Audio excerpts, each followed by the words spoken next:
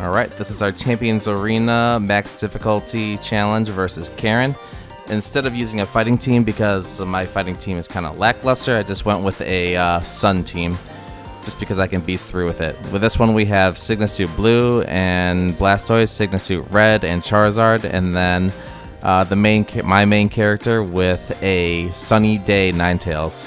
So with this one, you just get your defense buffs up with Blastoise, you get your stats maxed out with the red and Charizard, and then you get your defenses up with Ninetales, and then use Sunny Day, and then spam Ember.